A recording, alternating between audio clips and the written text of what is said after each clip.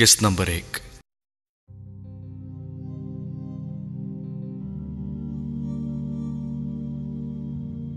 वो अपनी लाइंस कब से याद किए, अब सेट पर हीरोइन के इंतज़ार में टीम के दूसरे लोगों की तरह बैठी थी। ये उस सेट पर तकरीबन रोज का मामूल था। सानवी किरदारों में काम करने वाले वक्त से भी बहुत पहले सेट पर मौजूद होते और मरकजी किरदार करने वालों में से कोई ना कोई डायरेक्टर और प्रोड्यूसर को अपनी अदम मौजूदगी से खपा रहा होता।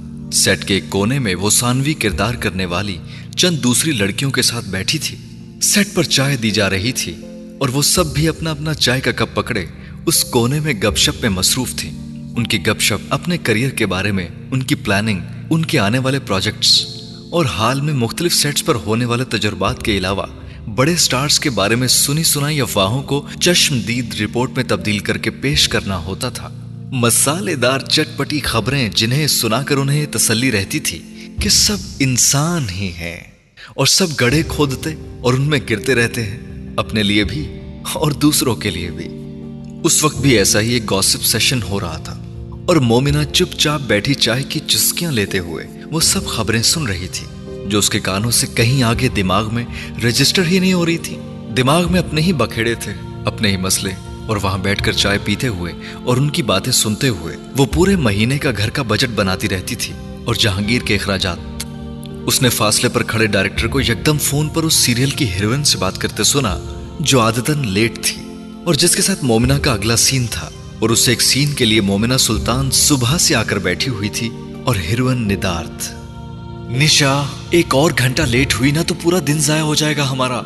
चार घंटे के लिए आओगी तो कितने सीन्स निकालेंगे हम? प्लीज़ आ जाओ। प्रोड्यूसर ने मुझे पागल कर रखा है यहाँ। प्लीज़ मोमिना ने डायरेक्टर को तकरीबन बेचारगी के आलम में गिड़गिड़ाते सुना था। वो फ़ोन बंद करके असिस्टेंट से कह रहा था अरे ये निशा, तुम रिहर्सल्स करवाओ। असिस्टेंट ने कुछ झुंझलाकर डायरेक्टर से कहा था, कितनी रिहर्सल्स करवाऊं? सुबह से रिहर्सल्स ही हो रही हैं। मोमिना ने असिस्टेंट को भी झंझलाते देखा और चाय का खाली कप इकट्ठे करते स्पॉट बॉय को सौंप दिया। बस हमें बिठा छोड़ते हैं तीन तीन घंटे के लिए। उसने अपने बराबर बैठी एक एक्स्ट्रा लड़की को कहते सुना। किस्मत कहते हैं इसे। उसने दूसरी का जवाब सुना। वो एक खामोश तमाशाई थी और ऐसे मौके पर तो जैसे उसके सारे लफ्ज ही कहीं गुम हो जाते थे। किसी भी सेट पर सबसे बेजरर वजूद मोमिना सुल्तान ही का होता था। उसकी किसी चीज़ के बारे में कोई राय नहीं होती थी। होती भी थी तो वो उसकी ज़ुबान से बाहर नहीं आती थी। शिकायत करने की उसकी आदत कभी रही ही नहीं थी। और अब इन हालात में शिकायत करना तो वो अफोर्ड भी नहीं कर सकती थी। और वक्त उसके पास बहुत था।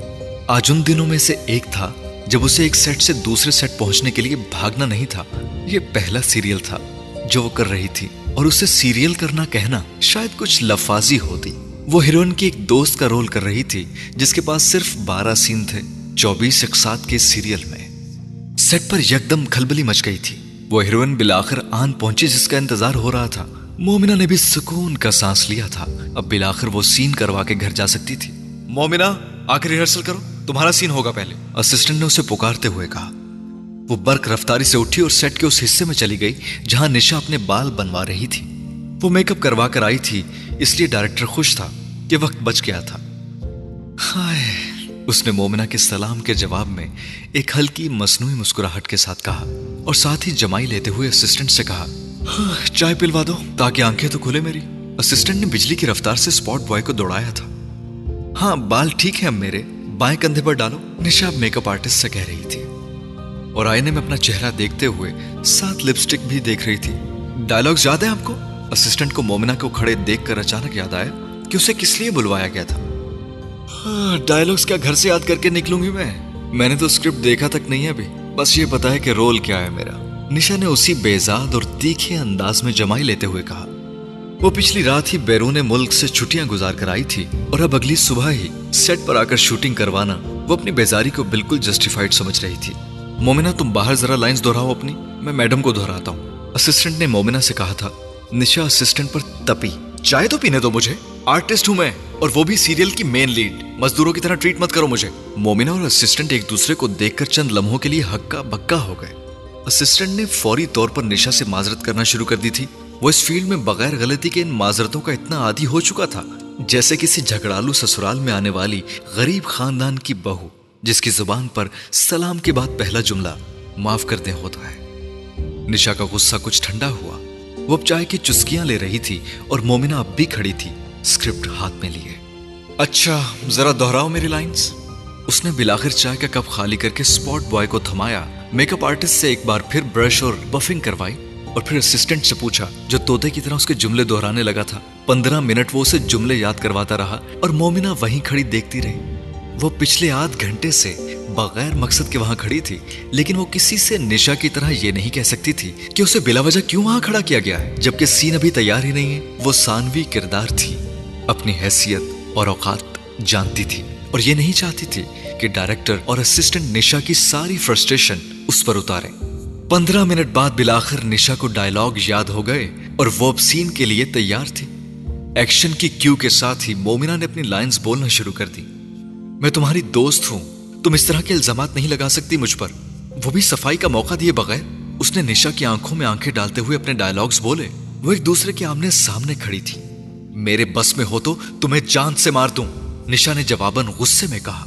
मोमिना ने यकदम उसके हाथ पकड़े और अपनी गर्दन तक लाते हुए बेहद जज्बाती अंदाज में कहा, मार दो। अगर मेरे मर जाने से दोस्ती बच जाती है तो मुझे यह भी कबूल है। निशा ने उससे हाथ छुड़ाने की कोशिश करते हुए कहा, तुमने ये बात मुझे पहले क्यों नहीं बताई? इतना बड़ा राज? कट करें। निशा अपने डायलॉग्स आखिरी मिनट में भूल गई और उसने यकदम सीन कट करवाया था। डायरेक्टर और डीओपी बेख्तियार झंझला गए। सीन खत्म होते हुए खराब हो गया था। डायलॉग दोहराओ मैडम के। डायरेक्टर ने असिस्टेंट से कहा, मगर इससे पहले कि असिस्टेंट कुछ कहता, निशा ने बेहद खफगी से कहा, डायलॉग्स हैं ही बकवास मेरे, सारी लाइंस उसको दी हुई हैं, मुझे बस इतना बड़ा राज देकर बिठाया हुआ है। डायलॉग कम करें इसके डायरेक्टर साहब, वो मेरा सीन खा रही है, आपको नज़र नहीं आ रहा? मोमिना हक्का बक्का खड़ी थी, और ऐसा ही हाल क्रू और डायरेक्टर का था। मोमिना का ख्याल था, वो अपने डायलॉग्स भूलने की वजह से शर्मिंदगी में ये सब कह रही है। उसे ये अंदाज़ा नहीं हुआ था कि वो उसकी परफॉर्मेंस और एक्सप्रेशन से परेशान हुई थी। निशा नई नई दो फिल्म्स करके आई थी। सीरियल्स करते करते और फ़िल्म की तरह वो भी आते ही मुकाबिल के डायलॉग कटवाने बैठ गई थी। ये स्टार पावर थी और मोमिना बेचारगी के आलम में सीन फ्रेम के अंदर वैसे की वैसे ही खड़ी थी। थोड़ी दूर डीओपी मॉनिटर पर उसी फ्रेम की फुटेज डायरेक्टर को दिखाते हुए कह रहा था, मैं आपकी जगह होता तो मोमिना ही को कास्ट कर लेता। निशा ठीक कह रही है। वो उसका सीन खा रही है। वो सबका सीन खा जाती है। चाहे बहन बनाकर खड़ा कर दो, चाहे नौकरानी, मोमिना के एक्सप्रेशन के सामने कोई नहीं ठहर सकता। डीओपी उसे दांत दे रहा था और बहुत खुले दिल से दे रहा था। जबकि डायरेक्टर परेशानी से उससे कह रहा था, पता है, मुझे परफॉर्मर है वो, मगर निशा ब्रांड है। सीरियल ब्रांड नेम से बिकता है परफॉर्मेंस से नहीं। मैं लाता हूँ मनाकर निशा को। ताहिर, तुम स्क्रिप्ट देखो। मोमिना की लाइंस कम कर दो, बल्कि निशा मैम के पास ले आओ। वो खुद ही कम कर देंगे। मोमिना ने इतनी दूर से भी असिस्टेंट और डायरेक्टर के दरमियान बुलंद आवाज़ से होने वाली गुफ्तगु सुन ली थी। गुफ्तगु को उसके कानों तक ना पहुँचने की कोशिश भी नहीं की गई थी। इंडस्ट्री में इज़्ज़त, नखरा और अना सिर्फ़ मेन लीड की देखी जाती है। बाकी सब ये चीज़ें घर छोड़कर सेट पर आते हैं। किसी सीनियर एक्ट्रेस ने एक बार मोमिना से कहा था और मोमिना को वो बात याद आई थी। उसके घर की गली खासी तवील, तंग टूटी फूटी और बेहद गंदी थी।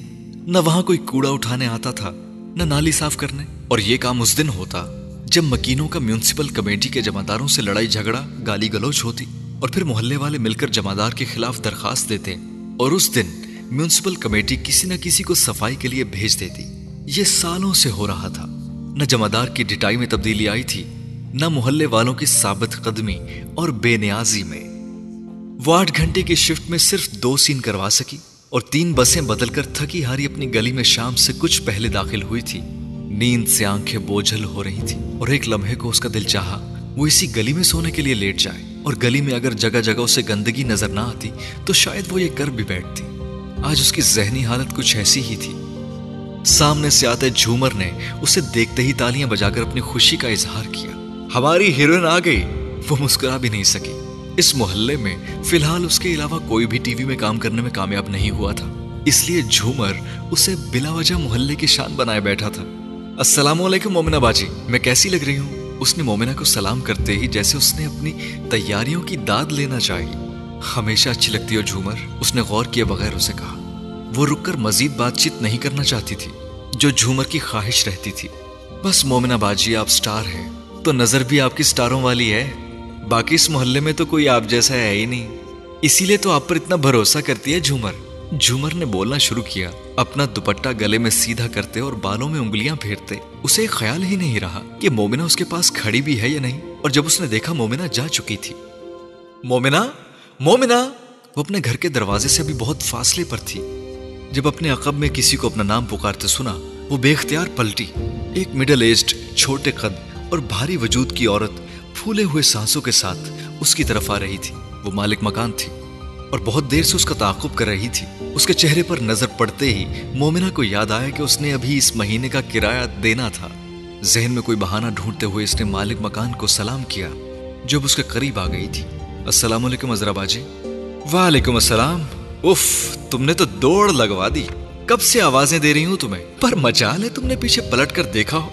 उस औरत ने बड़ी खुश दिली से सलाम का जवाब देते हुए कहा, बड़ी माजरत मैंने आवाज़ नहीं सुनी आपकी। मोमिना ने मालिक मकान से कहा हाँ हाँ भाई, स्टार हो तुम। कहाँ सुनोगी हमारे जैसों की आवाज़ें? सुरैया से कह रही थी, क्या एक्टिंग करती है तुम्हारी बेटी, माशाल्लाह? सोप देख रही हूँ तुम्हारा। अजरा ने फूली हुई सांस बहाल किए बगैर उसकी तारीफें शुरू कर दी थी। मोमिना कुछ रिलैक्स हुई। उसका मतलब था, फ़िलहाल किराए के लिए कुछ दिन और मिल सकते हैं। बहुत शुक्रिया खाला, बस आपका प्यार है। उसने इनकसार से कहा, बस अब सोप वगैरह छोड़ो और कोई सीरियल करो, कोई बड़ा रोल। उन्होंने साथ ही मशवरा दिया।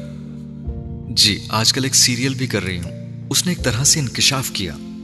अगर उन्हें मरूब करने से कुछ और दिन मिल जाए किराया देने के लिए तो क्या बुरा था? अरे वाह! ये तो बड़ी खबर है। कौन कौन है सीरियल में? उन्होंने फ़ौरन पूछा। निशा है? और तुम्हारा क्या रोल है? छोटा रोल है खाला। चलो कोई बात नहीं, बड़ा भी मिलेगा। निशा को मेरा बताना कि मैं फ़ैन हूँ उसकी। जी जी ज़रूर। मोमिना ने हामी भर ली। अरे हाँ जिस बात के लिए तुम्हें रोका था, वो तो जहन में ही नहीं रही। वो बिलाखिर मुद्दे पर आ गई। तुम्हारे घर गई थी। जहांगीर को देखा तो बड़ा अफसोस हुआ। जहांगीर सामने था तो सुरैया से कहने की हिम्मत ही नहीं हुई। उनके चेहरे पर अब हमदर्दी के तासुरात थे। मुझे पता है खाला किराया लेट हो गया है इस बार भी, लेकिन मैं एक हफ़्ते तक दे दूँगी आपको। इस हफ़्ते सीरियल का चेक मिल जाएगा। उसने बड़े नादिम अंदाज में उनसे कहा, नहीं नहीं, किराए की तो कोई बात नहीं, वो दे देना तुम। मुझे असल में घर खाली करवाना है। वो कदरे झिझक कर बोली, एक लम्हे के लिए मोमिना की सांस रुकी। घर खाली करवाना है? वो बेयकीनी से बोली हाँ बेटा, वो बस मेरा बेटा अपना घर बनवा रहा है तो पैसे कम पड़ गए हैं। इसलिए अब ये वाला घर बेचना पड़ेगा। उन्होंने वजाहत दी। लेकिन खाला इतना अचानक, वो बेहद परेशान हो गई। नहीं नहीं नहीं, वक्त तो दे देंगे तुम्हें। महीना, दो महीना, आराम से घर ढूंढो। आखिर मैं फ़ैन हूँ तुम्हारी, मैं अब फिर चलती हूँ। दर्जी के पास भी जाना है मुझे, और सीरियल जब चलना शुरू हो तो ज़रूर बताना। ओके, खुदा हाफिज। वो उसी तरह तेज तेज कहती हुई चली गई, और मोमिना वहीं खड़ी की खड़ी रह गई। वो हूँ हाँ भी नहीं कह सकी थी। वो वाकई मनहूस दिन था। मगर उसकी ज़िंदगी में ऐसे दिनों की इतनी भरमार थी कि उसे अब उनकी शनाख्त भी भूल गई थी। तो अब ये एक और मसला होगा। नया घर ढूंढना। उसने चलना शुरू कर दिया। अपने घर के खुले दरवाजे के आगे लटकता पर्दा हटाकर उसका दिल चाहा वो वहीं गिर जाए। किसी मैराथन में हिस्सा लेने वाले रनर की तरह, जो फिनिशिंग लाइन तक पहुँचते पहुँचते ढह जाने की ख्वाहिश, जीतने की ख्वाहिश से ज़्यादा करने लगता है। अपना बैग सहन में बिछी चारपाई पर फेंकते हुए, उसने सहन के कोने में लगे बेसन का नलका खोलकर चेहरे पर छींटे मारना चाहिए और नलके से गुर्राहटों के अलावा कुछ बरामद नहीं हुआ। उसका दिल अजीब तरह से डूबा। वो उस वक्त पसीने से शराबूर थी और मुँह पर पानी के छींटे मारने के बाद गुसल खाने में जाकर नहाना चाहती थी, मगर पानी ही नहीं था। उसने सहन में कपड़े धोने वाली जगह पर पड़ी बाल्टी देखी, जो भरी हुई थी। फिर पानी से मुँह पर छींटे मारने लगी। पानी की पाइपलाइन फट गई है वहाँ सड़क पर। पूरे मोहल्ले वाले जमा हैं। सुबह से वहीं से पानी ला रहे हैं। अब देखो कब ठीक करते हैं म्यूनसिपल कमेटी वाले। उसने अपने अकब में अचानक सुरैया की आवाज़ सुनी और इससे पहले कि वो कुछ कहती, उसने अपने छोटे भाई जहांगीर की भी आवाज़ सुनी थी। आपा, तुम आ गई? ये जुमला वो हर रोज उसके आने पर कहता था। उसके घर दाखिल होते ही वो उसके कदमों की चाप सुनकर कमरे से बाहर आ जाता। उससे दिन भर की कारगुजारी सुनने के लिए शूटिंग पर होने वाले वाकयात किसने किससे क्या कहा? कौन किससे लड़ा? कौन किसके साथ अफेयर चला रहा है? कौन फ्लर्ट कर रहा है? उसकी परफॉर्मेंस ने कितनों को मुतासर किया? और सीन में किस किसने उसे दाद दी? उसका सवाल नामा रोज एक जैसा होता था, मगर मोमिना को रोज नए सिरे से उसकी तैयारी करना पड़ती थी। बाहर और शोबिस की दुनिया के साथ, वो जहांगीर इंट्रैक्शन का वाहिद ज़रिया रख गई थी और वो उसे एंटरटेन रखना चाहती थी। तुम्हारी तबीयत कैसी है? जहांगीर के सवाल के जवाब में उसका जवाब भी जहांगीर ने यकीनन रटा हुआ होगा। वो उसके सवाल का जवाब हमेशा उसे सवाल से दिया करती थी और फिर उसका जवाब जहांगीर की ज़ुबान पर ढूँढने के बजाय उसके चेहरे और बॉडी लैंग्वेज से ढूंढती थी, क्योंकि जहांगीर की ज़ुबान पर हमेशा झूठ होता था। मैं तो ठीक हूँ, उसने मुस्कुरा कर कहा, और वो उसका चेहरा खोजने लगी। वो वैसा ही था जैसा रोज होता था। वही हल्के, वही फीकी फीकी जर्द रंगत, वही स्याह होंठ वही आँखों के गिर्द सूजन वही मुरझाई हुई आँखें और वही खड़े रह पाने की जिद्दोजहद। वो गुर्दों की बीमारी के बायस डायलिसिस करवा रहा था और मोमिना सुल्तान रकम जमा करने में मसरूफ थी, जिससे वो उसका गुर्दा ट्रांसप्लांट करवा लेती। वो एक ही वक्त बहुत से मुहाजों पर जंगे लड़ रही थी और हर जंग हार रही थी। आपा, आज कैसा गुजरा सीरियल के सेट पर तुम्हारा पहला दिन? जहांगीर उसकी खोजती आँखों को खुद से हटाना चाहता था। मैं सो के उठ जाऊँ, फिर बताऊँगी। उसने अंदरूनी कमरे की तरफ़ कदम बढ़ाते हुए कहा खाना तो खाती जाओ, सुरैया ने उससे कहा। वो भी सोने के बाद उसने पलटे बगैर माँ से कहा था, ये पूछे बगैर कि पका क्या था? दाल, आलू, कद्दू, गोभी, चावल, वो मेन्यू की फहरिस्त और तरतीब से वाकिफ थी। और उसे यह भी पता था कि जब तक किराया अदा नहीं हो जाता, मेन्यू में गोश्त की एंट्री नहीं हो सकती। और वो गोश्त की शौकीन थी भी नहीं। ड्रामों के सेट्स पर उसे सब कुछ मिल जाता था। सानवी किरदारों में भी अच्छा खाना या कम अज कम वो खाना जो उसके घर से बेहतर होता था। और खाने के बारे में अब सोचता भी कौन था? ज़्यादा से ज़्यादा जो वो सोचती थी, वो खाना खाने के बारे में था। क्या खाने के बारे में नहीं था? चादर को चेहरे पर खींचते ही वो जैसे सुकून की वादी में उतर गई थी। ये उसकी आदत थी। वो सर से पाँव तक चादर खुद पर तान कर चित सोया करती थी। वो चादर नुमा खैमा जैसे उसकी हिफाजती बाढ़ थी, जो कुछ लम्हों के लिए उसे हर चीज़ से बेनियाज कर देता था। उस चादर के अंदर उसे अपने वजूद के सिवा कुछ नज़र नहीं आता था। न घर की दीवारों से उतरता सीमेंट या बरसात में छत से टपकता पानी, न घर का मुरम्मत तलब फर्नीचर, न जहांगीर का बीमार चेहरा, न सुरैया की मजबूर नज़रें, न सुल्तान की उदास आँखें। उस चादर के अंदर मोमिना सुल्तान को सिर्फ़ मोमिना सुल्तान नज़र आती थी, जो सिर्फ़ अपने साथ होती थी। कुछ देर के लिए नींद की आगोश में जाने से पहले, वो चादर के अंदर आँखें खोले उस चादर की छत को देखती रहती और उस खालीपन में सुकून महसूस करती थी। जैसे किसी ने स्लेट पर लिखी गुडमुड तहरीरें, कुछ देर के लिए डस्टर से साफ़ करके मिटा दी हो। और स्लेट बिल्कुल खाली हो।